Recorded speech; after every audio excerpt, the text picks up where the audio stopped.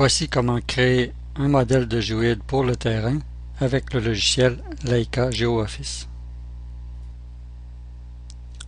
L'objectif est de créer un modèle de géoïde terrain pour les instruments de la série Viva à partir de la grille canadienne du géoïde HT2 avec le logiciel LGO, Leica GeoOffice. Donc à partir du logiciel LGO, euh, je sélectionne euh, le menu Outils en haut de l'écran. Ensuite, euh, l'option Créer un modèle de géoïde terrain. À la première ligne de la fenêtre de la création du fichier terrain du géoïde, je sélectionne le modèle du géoïde déjà installé sur mon ordinateur qui est le HT2 basé sur l'ellipsoïde GRS80. Euh, ensuite, l'étape suivante serait de sélectionner une zone d'extraction de la grille du géoïde pour euh, le fichier terrain.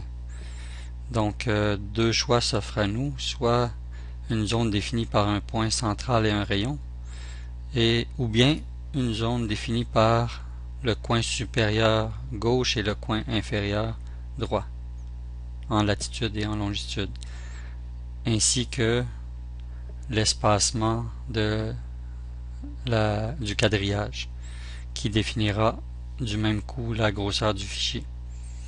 Pour le cas présent, nous allons sélectionner un point central et un rayon.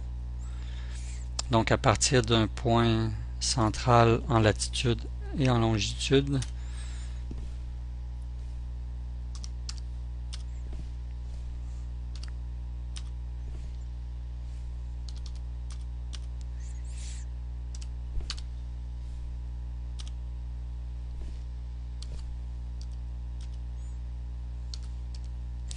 Ici, il, ne faut pas oublier de spécifier euh, la direction de la longitude, soit est ou ouest. Je vais ici choisir un espacement de 500 mètres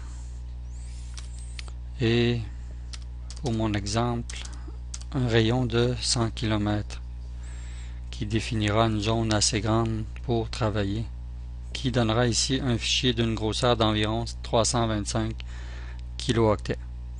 Là, je peux sauvegarder euh, le fichier terrain qui sera créé sur euh, un emplacement de mon disque dur.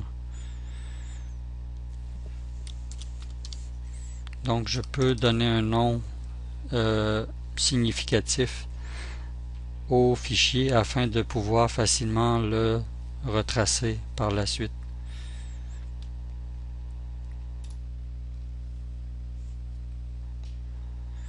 Donc le fichier terrain du géoïde euh, a été créé avec succès.